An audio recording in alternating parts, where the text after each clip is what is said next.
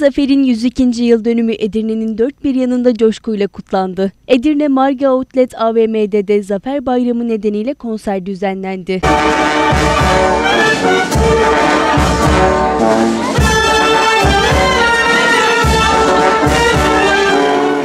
Edirne Belediye Bandosu birbirinden güzel parçalarla alışveriş merkezindeki vatandaşlara coşku dolu anlar yaşattı.